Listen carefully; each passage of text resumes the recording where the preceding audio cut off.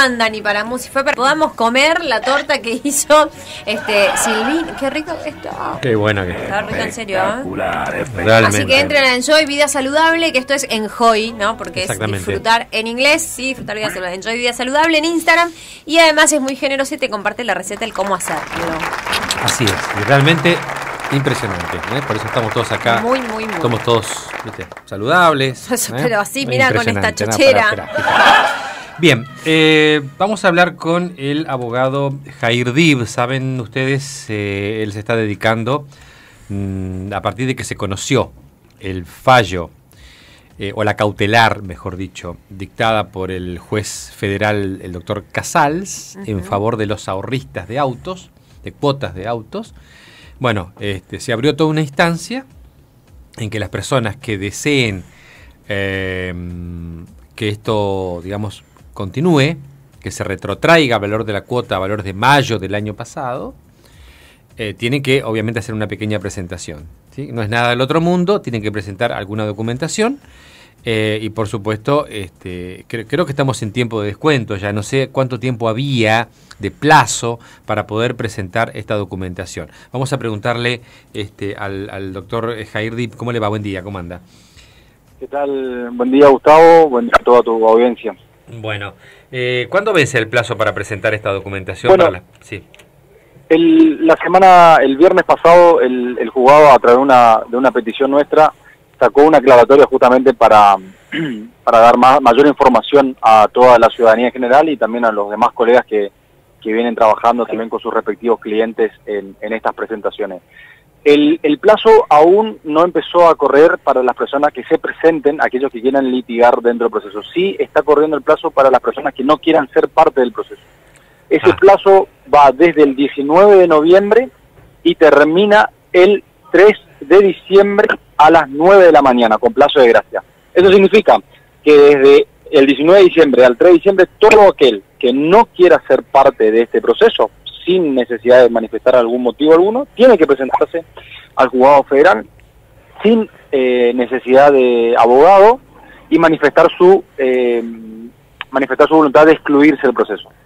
A partir del 4 de diciembre y hasta el 18 de diciembre a las 9 de la mañana va el plazo para aquellas personas que tengan interés, como bien vos lo manifestaba, de que la cautelar se mantenga, porque es necesario hacer las presentaciones y bueno, obviamente a través de, eso sí, a través de un abogado, que es necesario en ese aspecto, que se presenten con patrocinio letrado, hagan eh, sus reclamos eh, en forma individual y bueno, lo que consideren adecuado a derecho, ¿no? ¿Qué, qué documentación tienen que presentar estas personas?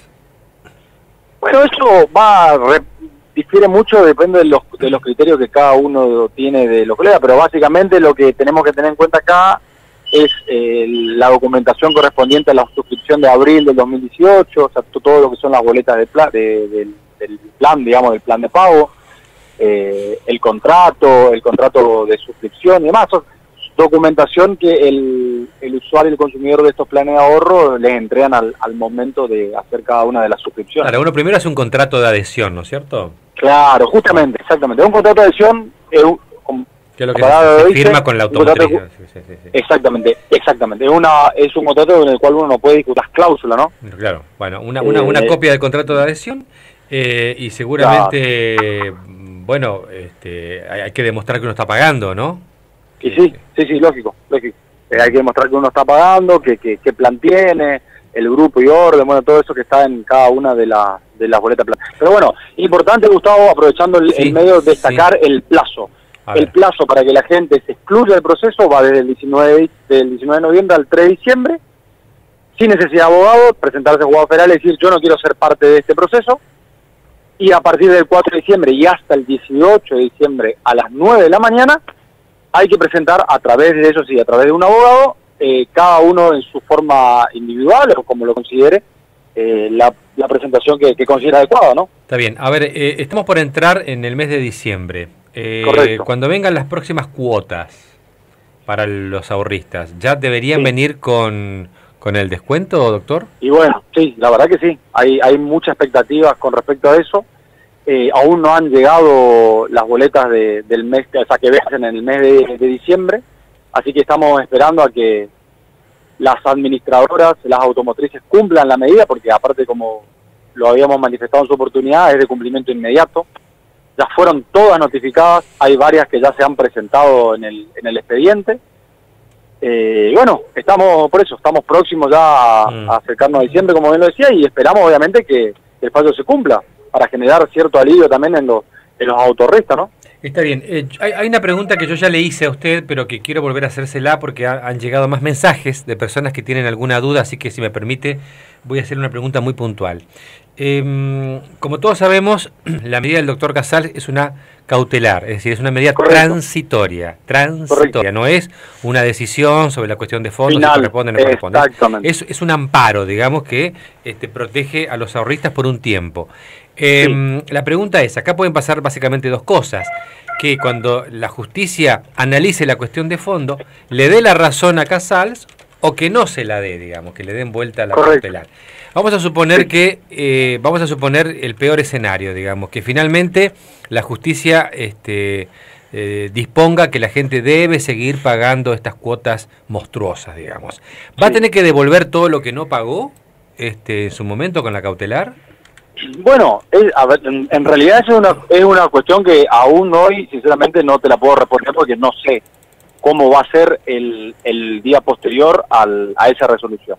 Eh, lo importante acá es destacar de que la medida principal que va, va a ser resuelta por el, por el doctor José Luis Casal. Ah. La cautelar eventual, claro, porque la medida principal se presenta ante el juzgado del doctor José Luis Casal. Bien. O sea, él también va a tener que resolver eso y obviamente después en las instancias superiores, como bien vos lo planteas, obviamente que puede, puede existir a, a alguna revocación del, del fallo más. Ahora bien, ¿qué medidas puedan tomar después las administradoras con respecto a eso? Y la verdad que Gustavo no tengo certeza alguna con respecto a eso. Lo que sí puedo decirte es que eh, mientras tanto, mientras dure la cautelar, eh, el cumplimiento tiene que ser efectivo y la concesión de ese, de ese recurso es con carácter evolutivo, o sea que no suspende. Cualquier instancia Em, superior no suspende el curso del, de la resolución. Eh, el doctor Casal fue el primero. En los últimos días se conocieron fallos similares eh, de Sí, juzgados federales, creo que de Córdoba De Córdoba. no sé qué otra provincia. Mi pregunta es si esta acumulación de, de cautelares eh, puede bueno beneficiar de alguna forma a los ahorristas, porque es como que más, más jueces piensan igual que Casal, supuesto. digamos, ¿no? Sí, sí, por supuesto. Sí, Ah. sí, obviamente, es aparte es una realidad, nosotros lo venimos sosteniendo hace un tiempo, es un hecho de público y notorio conocimiento también, y bueno, obviamente que mientras eh, haya más fallos favorables para los autos ahorristas, en este caso los consumidores y usuarios, bueno, también va a generar mayor fuerza, ¿no? Eh, con respecto al, al reclamo, y se visibiliza un reclamo que lo vienen haciendo hace mucho tiempo, y además también eh, cuando la justicia lo ampara y le da la razón, con mayor satisfacción, ¿no? Bien, doctor Jair Dip, gracias, que tenga buen día, muy amable. Bueno, muchas gracias igualmente, hasta luego.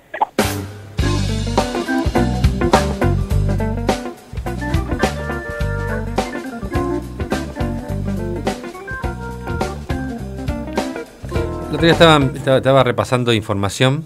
eh, gente que empezó a pagar, eh, ponele, hace dos años, tres años, dos años, dos años, que empezaron a pagando, pagando 1.400 pesos, 1.500 pesos de cuota.